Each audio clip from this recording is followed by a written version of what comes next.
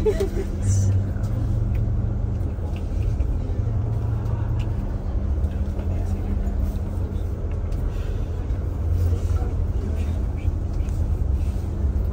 sakaya na ng bus. Yun.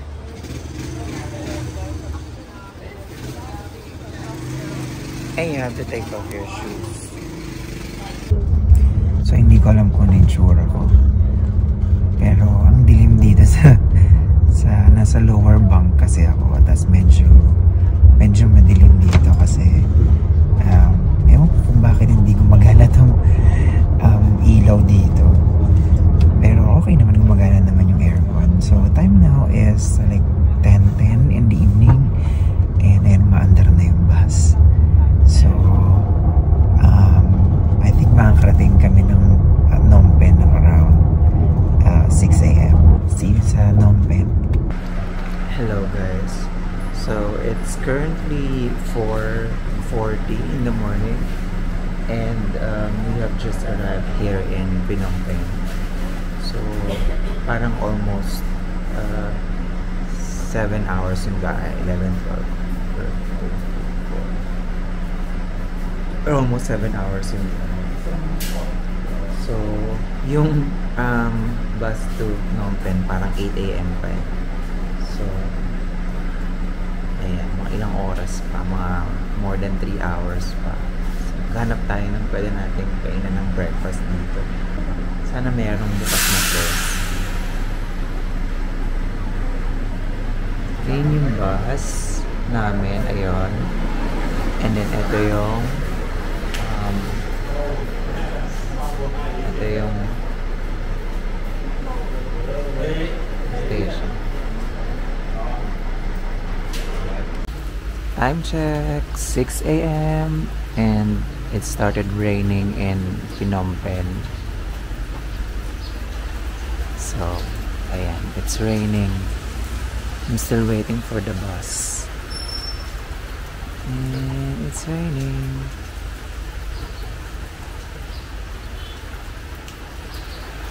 Nakakita ba na umuulan? Ayun, umuulan nga. Hmm.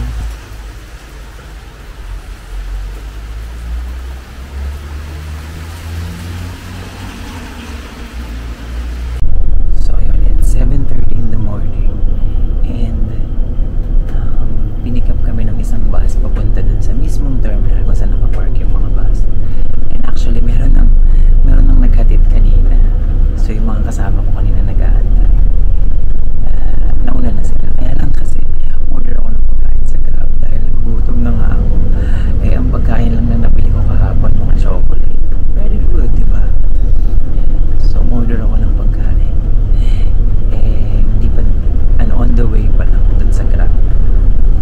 Kaya, ano, kaya hindi ako sumabay dun sa nauna. Pero sinabi ko naman dun sa staff ng China Airways na ah, next bus na lang ako ako kasi hinihintay ko yung pagkain ko.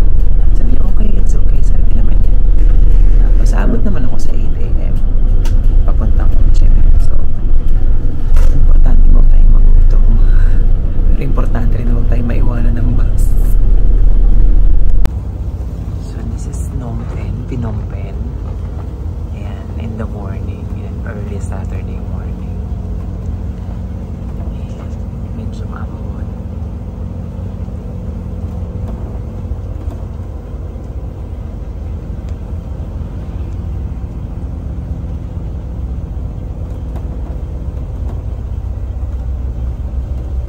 Tingnan nyo, ang galing dito. Oh. Merong dedicated parang lane para dun sa mga ah, motor.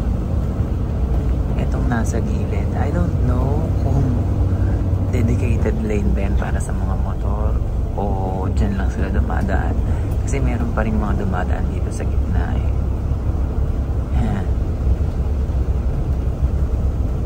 I think dedicated lane yun. So, ito, nakasakay na ako ng bus. Actually, kanina pa. Pero, dahil nga sa gutom kumain na muna nag-order kasi ako ng pagkain sa Grab kanina, di ba? Kaya ako na, kaya second, ano na ako, second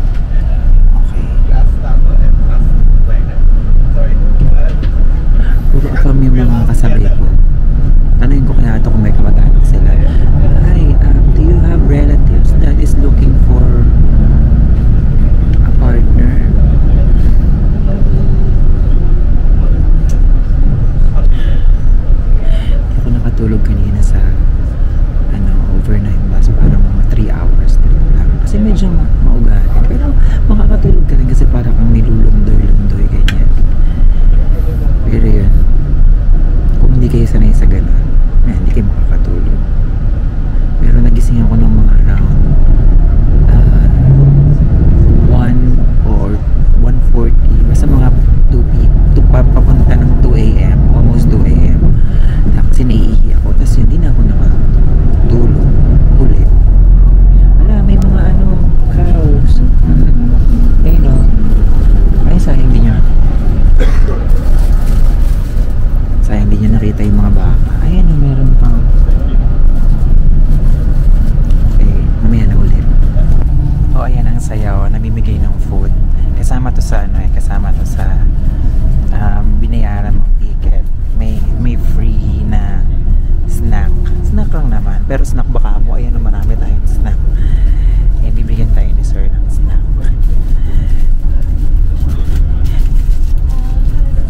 O, kuntong to. O. O, kuntong to. Natutunan ko yan sa guide ko kay Sari.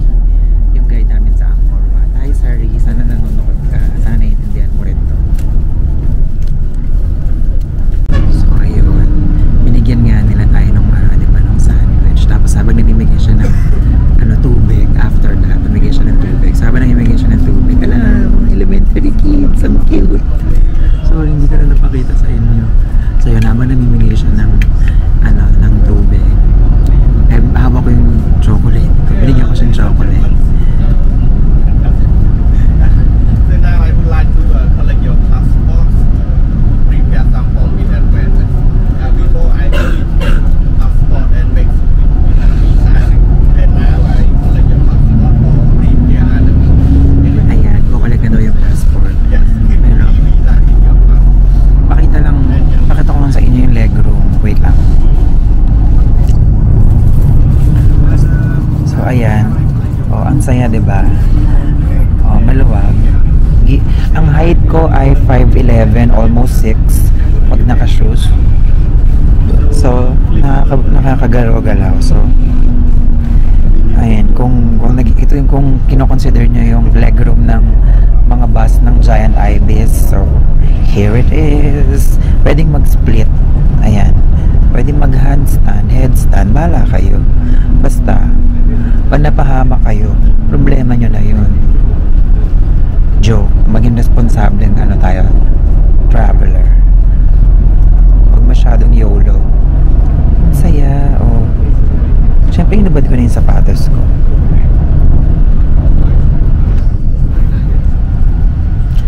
Mm, so nice.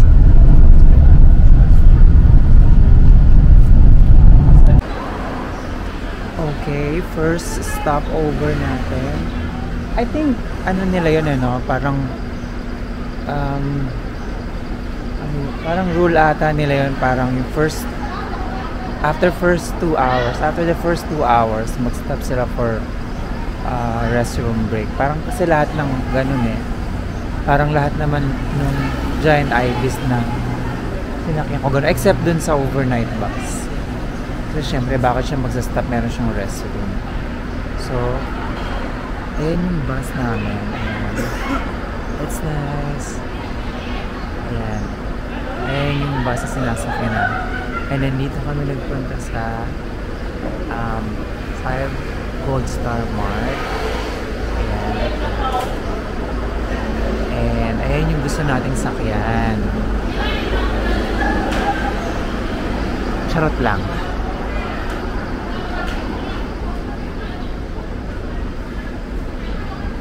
Ayun lang, nakatulog ako. Masarap tulog ko sa ano, bus kanina. So-. So we are at the Cambodian border now. And sabi ni Sir, bababa daw kami for uh, border check. And then pagpas... Ano yung sabi?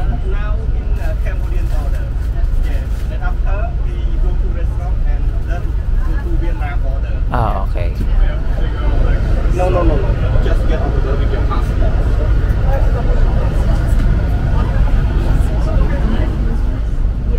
Oh, okay, ayan. Okay. Oh. So, dahil nga puro po dito mga kasama, ako lang ang nag-iisang wala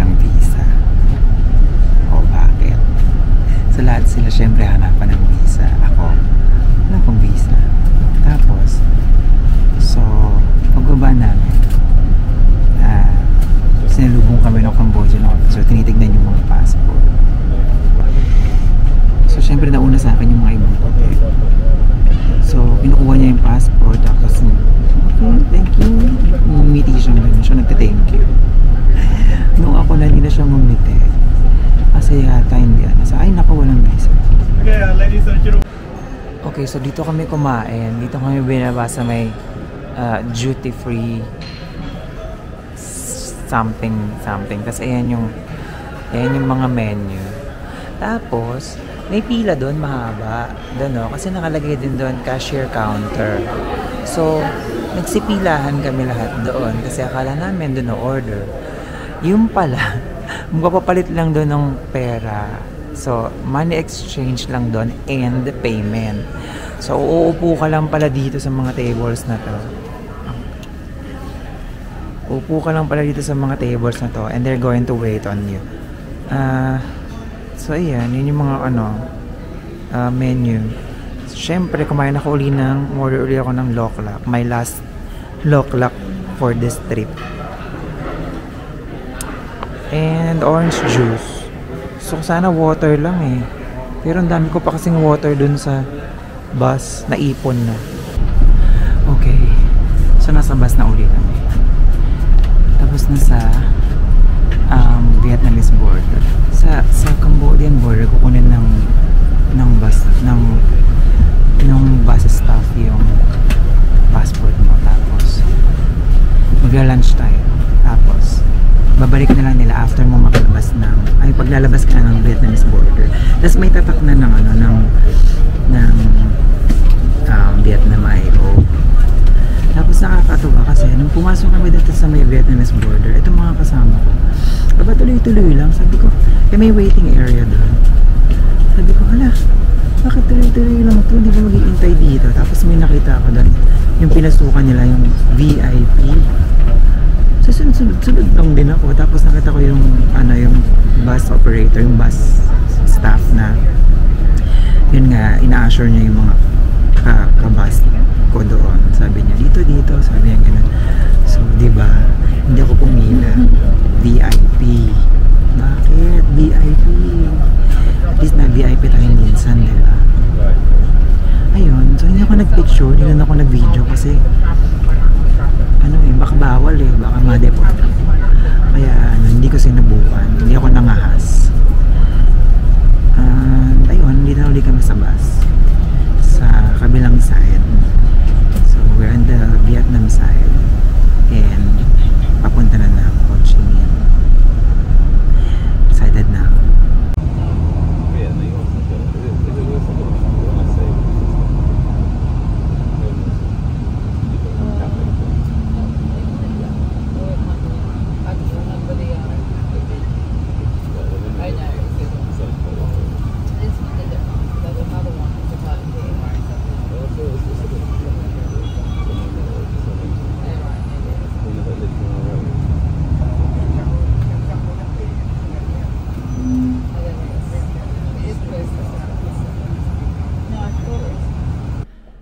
Okay, um, I finally made it to my hotel. The time now is um 3:45 and um mabilis ang update lang.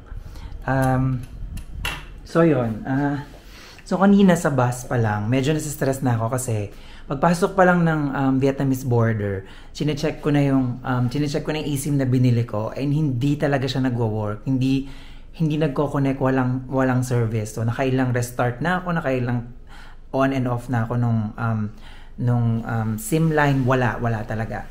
Ito pala may ilaw sorry. So medyo nasa-stress na ako tapos sabi ko don't be stressed. So yun. So ngayon sabi ko wag na bibili na lang ako. Eh di pagbaba ko dun sa sa terminal sakto naman may nagbebenta ng may nagbebenta ng SIM card. So bumili ako ng SIM. So pagbili ko ng SIM de sabi ko, de okay na, ganyan. Hindi, hindi nagko-connect. Hindi talaga. So, nisip ko, baka sa phone ko na may problema. Sabi ko, baka nagbo-work naman pala talaga, tapos yung phone ko yung may problema. So, sinabi ko sa kanya, sabi niya, ano, sabi, um, sabi nung guy, um, yung phone mo ba may eSIM? Sabi niya ganyan. Sabi ko, oo. So, ang, ang, ako again, mis, miscommunication na. Akala niya gusto ko bumili ng eSIM. Sabi niya, no, eSIM is, um, eSIM is much expensive. Sabi sabi ko, hindi ko nga kailangan bumili ng eSIM kasi um, meron na nga akong SIM na binili sa'yo eh, hindi lang gumagana. Tapos pinalitan niya yung SIM ng bago. This is $7 by the way. Tapos, ayun, gumana na. Tapos, um, may, nagbubuk ako ng ano, ng grab. May lumapit na nakamotor na. Sabi niya, ano, hatid, ah, hatid sa hotel, ganyan, ganyan.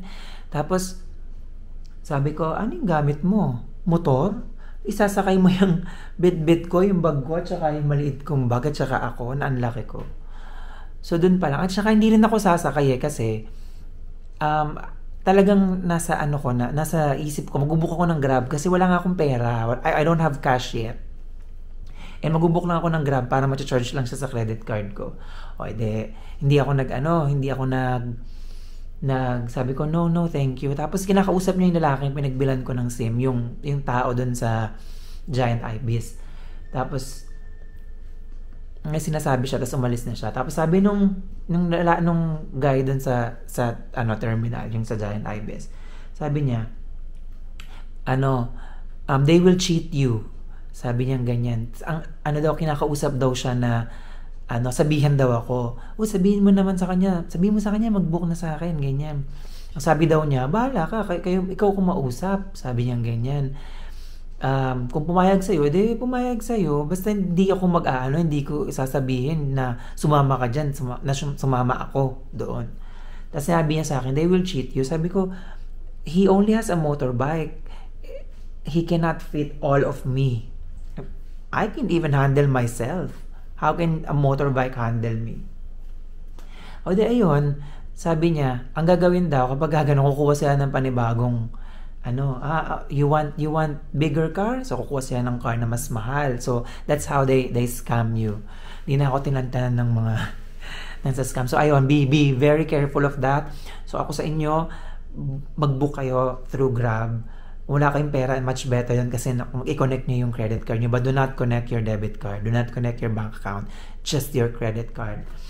Um, okay, the reason for that is if you connect your, your ATM or your debit card, once a scammer gets hold of your bank account, ubus yon Okay? Unlike with the credit card, pwede mo i-contest yon na hindi ikaw yon, hindi hindi ikaw talaga yon, and hindi mo pera yon. Um, kumbaga, it's just it's just a credit limit walang nawala sa iyo and you can, can always contest it with the bank unlike sa pagka ang unlike kapag ka uh, they get a hold of your um, uh, bank bank account ATM or, or, or savings account lalos yon once they get access to that, ubus yon and, hindi mo na yun kayang habulin. O kung siguro mahabol mo pero it would it would be painful. The process would be painful.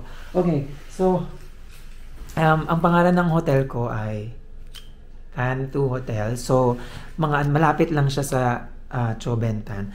So, ayun pala, nagbook ako sa sa Grab, tapos nagpababa ako dun sa Hatam Jewelry. Doon ako nagpapalit ng um, ng pera. So, meron akong $65 na naipalit ko doon ng parang 1,500 something. Tapos, yung meron akong 1,000 Taiwanese dollar. Nadala ko talaga. Pinalit ko na rin doon and I got parang 759 which is which is a good deal kasi parang ganun din yung lumalabas sa sa ano eh sa sa Google na conversion. Sabi ko kung 750 okay na. Pero yun talaga hanggang down to um 7 mga 99 mga last digit 759 ganyan. Nakuha pa. Okay yung yung hotel ko is malapit lang dun sa Chobentan para mga tatlong dura lang siya. So pagpasok mo hold on So, ito yung pinto. Uh, room tour lang to. Quick room tour lang kasi um, kailangan ko talagang ano eh, kailangan ko na maligo tapos lumabas na because I only have like a limited time dito sa uh, Vietnam. Okay, sa Ho Chi Minh. So, ayan ang sorry. So, ayan ang pinto. So, pagpasok mo, just to mind my gamit. Ayan, so meron siyang um, TV, tapos merong mini mini fridge dyan. Tapos merong water. Ayan. Tapos same same yung like what we had. And then two cup chairs. And then two chairs. And then meron lang isang bed. Ayan. So, ayan. And then, um, vanity mirror na may chair. And then aircon. Teka lang, parang hindi malamig. Then, naka-cool naman. And then, meron ditong Halloween pa naman ngayon. Walang lala. Naku ha. One, two, three. Okay, wala naman. So, ayan. Meron, merong tawag dito, merong closet. And then, this is the this is the uh, banyo. So, ayan. That's the toilet, mirror, and then shower. Asan na? Ayan, shower. And bathtub. Okay naman siya for a reason- reasonable price. Kasi parang nabukot ng parang ah, magkano ba yung binayad ko sa baba? 975 975,000 uh, dong. So, kayo na lang mag-convert, convert. So, ngayon, the time now is uh, 3.50. I'm just gonna go have a quick shower kasi malagkit na rin yung buhok ko. And then, labas na tayo. We, we can't waste time kasi may nahabol ako eh. Um, gusto ko talagang mapuntahan yung um, Saigon, Saigon um, Central Post Office. Ayan lang. So, laters na lang.